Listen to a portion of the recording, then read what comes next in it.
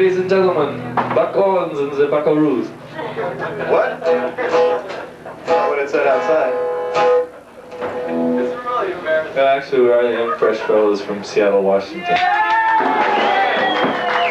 crowd goes wild. My name is Scott McCaughey. You can call me Sled Dog. This is Chuck Carroll over here. Tad Hutchison on the drums. We're performing especially for some of his family members tonight. Came all the way down from Des Moines, Iowa after the big game. Uh, that was in Iowa City, wasn't it? Yeah. Jim Sangster donning the sacred robe like the Tahitian slaves.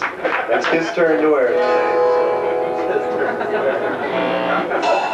We'd like to, as our first selection, perform a song from our album, The Fabulous Sounds of the Pacific Northwest. No? One, two, three, four.